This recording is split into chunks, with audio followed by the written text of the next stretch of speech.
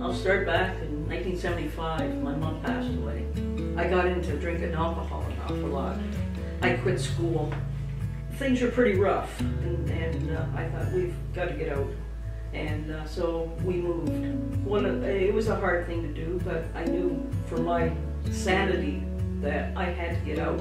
And then 2014, I think after mom's death was my worst day. My big sister Marlene, she passed away suddenly. Of course, I get back into the alcohol, what I don't know if any normal person would do to start drinking and, and you know, try to make your sadness go away. I had talked to somebody and said, well, you should go to the CMHA and uh, see a counselor. And uh, so I took their advice. We talked through a lot of stuff, and uh, that was the best thing I could have ever done. I got through a lot.